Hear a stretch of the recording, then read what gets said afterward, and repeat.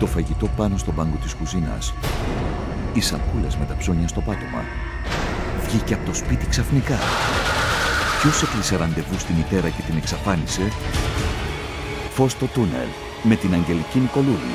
Παρασκευή στις 11 το βράδυ.